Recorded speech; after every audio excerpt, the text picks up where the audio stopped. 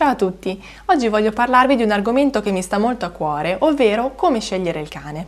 Il cane infatti non va scelto per la sua bellezza, né per le mode o perché l'avete visto in un film o perché ce l'ha eh, il vostro vicino di casa ma va scelto per il carattere, in base al suo carattere e alle sue attitudini e motivazioni di razza e soprattutto va scelto anche in base vostre, al vostro stile di vita, ai vostri ritmi quotidiani,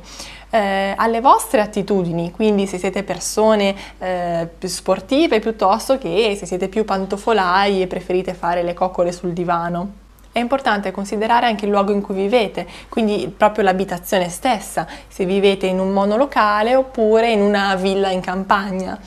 e eh, il contesto in cui il cane si troverà a vivere quotidianamente, quindi se siete in un contesto urbano, in una zona molto trafficata oppure in aperta campagna. E considerare la presenza di aree verdi vicine facilmente raggiungibili oppure la vostra disponibilità a spostarvi in macchina per raggiungerle prendere un cucciolo o un cane adulto presuppone un impegno molto differente, quindi dovete anche considerare l'energia e la pazienza che avete a disposizione e il tempo che potete dedicargli.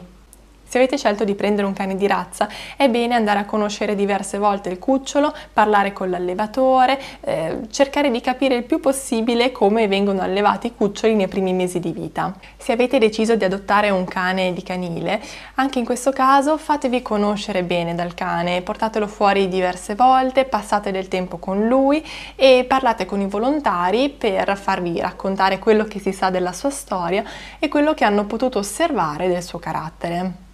Fate attenzione al colpo di fulmine, all'amore a prima vista, perché il cane è un compagno che avremo per 10-15 anni, quindi una buona parte della nostra vita e per tutta la sua vita. Quindi è bene essere ben assortiti, deve essere una scelta consapevole e non eh, dettata sull'onda dell'emozione, da una sensazione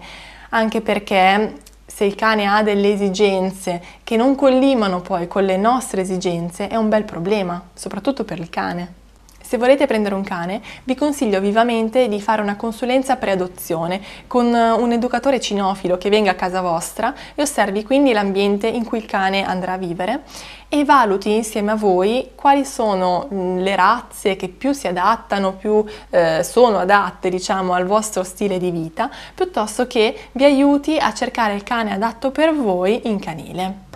Ricordatevi che un cane è per sempre. Alla prossima, ciao!